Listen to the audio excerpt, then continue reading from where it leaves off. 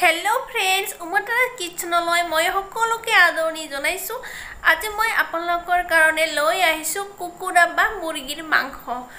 এই মাংসটো মই নতুন পদ্ধতিত বনাইছোঁ। তেনেহ'লে আপোনালোকে এই ভিডিঅ'টো সম্পূৰ্ণলৈকে চাব। নহ'লে বলক ভিডিঅ'টো পলম নকৰাকৈ আৰম্ভ কৰোঁ। আৰু মই এই ভিডিঅ'টো শেষলৈকে চাব। নিশ্চয় ভাল পাব। প্ৰথমতে লৈছোঁ মই কুকুৰা বা মুৰ্গীৰ মাংস। এই মাংসখিনি মই ভালদৰে ধুই লৈছোঁ আৰু ইয়াত ইয়াতে আছে আধা কেজি। আপোনালোকে বেছিও ল'ব পাৰে বা কমো ল'ব পাৰে কিন্তু মই আধা কেজি লৈছোঁ। পিঁয়াজ মই দুটা ভাগত লৈছোঁ। এইখিনি পিঁয়াজ মই ভাজি পেলাই গ্ৰিণ্ডাৰত গুড়ি বনাই দিম। তাৰ কাৰণে এনেকুৱাকৈ সৰু সৰুকৈ কাটি লৈছোঁ। আৰু এইখিনি পিঁয়াজ অলপ মই ডাঙৰকৈ কাটি লৈছোঁ। ইয়াতে মই আদা নহৰুৰ এটা পেষ্ট বনাই লৈছোঁ। তাৰপিছত লৈছোঁ মই তেজপাত। বিলাহী লৈছোঁ। আজিকালিৰ বিলাহীবিলাক বেছি ভাল নহয়। ঠাণ্ডা দিনৰ বিলাহীবিলাকহে বেছি ভাল। আজিকালিৰ এনেধৰণৰ বিলাহী পোৱা যায় বজাৰত। তাৰপিছত লৈছোঁ মই জলকীয়া। কিমান জ্বলা খায় সেই অনুযায়ী দিলে হ'ল জলকীয়া। কেৰাহী লৈছোঁ আৰু কেৰাহীটো মই গৰম হ'বলৈ দিছোঁ হাই ফ্লেমত। ইয়াতে মই দিছোঁ পিঁয়াজ সৰু সৰুকৈ কাটি থোৱা পিঁয়াজখিনি প্ৰথমতে মই ভাজি বনাই লৈ আছোঁ। তাৰপিছত এনেকৈ হেতাৰে লাৰি দিব পিঁয়াজখিনি। পিঁয়াজখিনি অলপ ৰংচোৱাকৈ কৰকৰাকৈ ভাজি ল'ব। তেতিয়াহে মানে আমাৰ মাংসটো খাই টেষ্টি লাগিব। এয়া চাওক আমাৰ ৰংচোৱা হৈ আছে। লাহে লাহে দুই তিনি মিনিট ভাজি লোৱাৰ পিছত ৰংচোৱা হৈ যাব।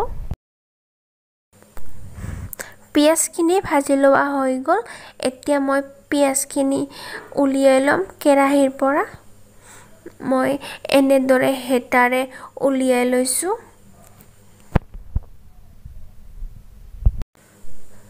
এতিয়া মই কেৰাহীত তেল দি আছোঁ মুৰ্গীখিনি বনাবলৈ। তেলখিনি গৰম হৈ গ'ল এতিয়া মই তেলত ডালচেনি দি পেলাই এনেদৰে অলপ হেতাৰে লাৰি দিছোঁ। তাৰপিছত দিছোঁ মই তেজপাত। এতিয়া মই কাটি থোৱা পিঁয়াজ আৰু জলকীয়া মই দি লৈছোঁ।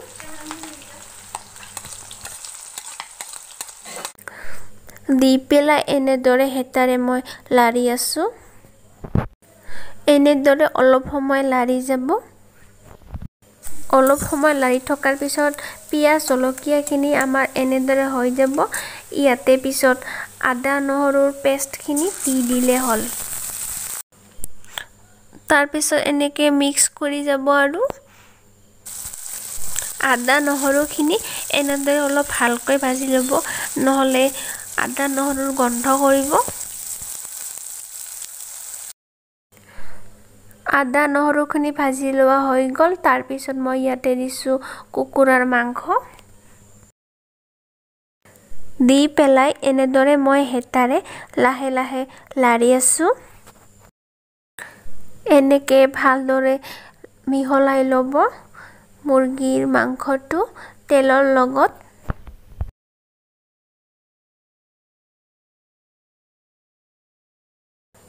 এতিয়া মই ইয়াতে দিছোঁ নিমখ সোৱাদ অনুসৰি নিমখ দিব।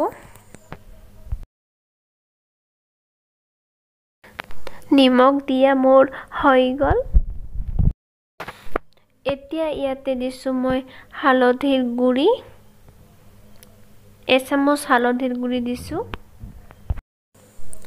তাৰপিছত এনেকৈ মই হেতাৰে মিহলাই লৈছোঁ মাংসখিনি।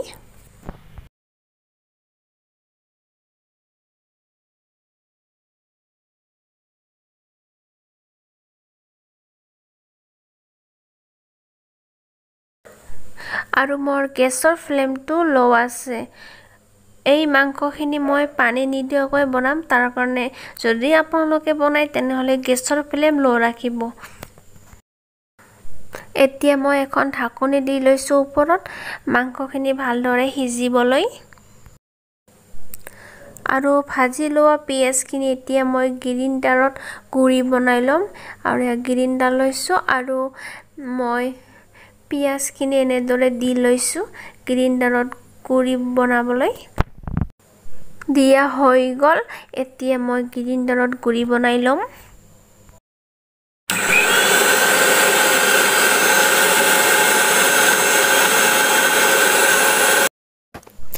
এয়া চাওক আমাৰ গুড়ি বনোৱা হৈ গ'ল পিঁয়াজখিনি এতিয়া মই ঢাকনিখন গুচাই লৈছোঁ। ঢাকনি গুচোৱাৰ পিছত মাংসখিনি এনেদৰে হ'ব।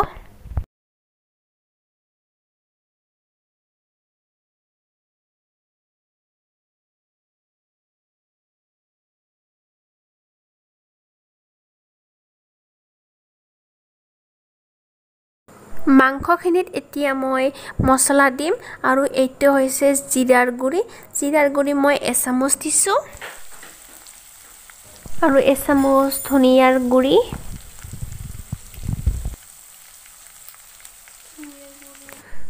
এচামুচ শুকান জলকীয়াৰ গুড়ি দিছোঁ। তাৰপিছত দিছোঁ মই এচামুচ চিকেন মছলা। এতিয়া ভালদৰে মিহলাই ল'ব।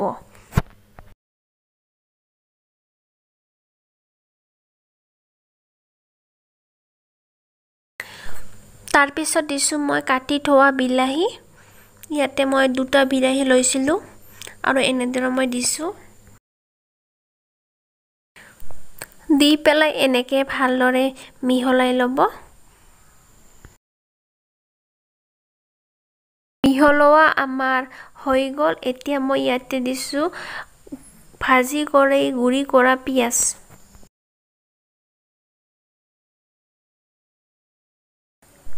এতিয়া আকৌ ভালদৰে মিহলাই ল'ব। যাতে ভালদৰে মিক্স হয় তেতিয়াহে আমাৰ খাই টেষ্ট লাগিব। এতিয়া মই আকৌ ঢাকনিৰে ঢাকি দিছোঁ সিজিবলৈ। ঢাকনি গুচোৱাৰ পিছত আমাৰ মাংসটো এনেদৰে হৈ গৈছে। মই ঢাকি দি পেলাই মাংসখিনি বনাইছোঁ। আৰু মোৰ মাংসখিনি বনোৱা হৈ গ'ল এতিয়া মাংসটো অলপ ঠাণ্ডা হ'বলৈ দি ল'ম। এয়া চাওক নতুন পদ্ধতিত কুকুৰাৰ মাংস আপোনালোকক মই বনাই দেখুৱালোঁ আৰু এই মাংসখিনিত মই পানী দিয়াই নাই পানী নিদিয়াকৈ আমি মাংসখিনি বনাইছোঁ আৰু ইয়াত ৰংটো চাওক কিমান বঢ়িয়া হৈ গৈছে দেখিয়ে খাওঁ খাওঁ যেন লাগিছে নহয় জানো? এতিয়া মই আপোনালোকক মই মাংস এটুকুৰা ভাঙি পেলাই দেখুৱাম। এয়া চাওক সহজতে ভাঙি গৈছে আমাৰ মানে পূৰা ভিতৰতো সিজি গৈছে। আৰু এই মাংসখিনি খাবলৈ বিৰাটেই টেষ্ট হৈছিল। গতিকে আপোনালোকে ঘৰত এবাৰ নিশ্চয় এনেকৈ বনাই খাবচোন তেতিয়াহে আপোনালোকে গম পাব কেনে কেনেকুৱা হৈছিল। নতুন পদ্ধতিত মই মুৰ্গীৰ মাংস বনাই দেখুৱালোঁ। যদি এই ভিডিঅ'টো ভাল লাগিছে তেনেহ'লে লাইক কৰিব শ্বেয়াৰ কৰিব লগতে চেনেলটো ছাবস্ক্ৰাইব কৰিব। আৰু মোৰ আহিবলগীয়া ভিডিঅ'সমূহৰ ন'টিফিকেশ্যন পাবলৈ বেল আইকনটো প্ৰেছ কৰি দিব। শেষলৈকে ভিডিঅ'টো চোৱাৰ কাৰণে ধন্যবাদ।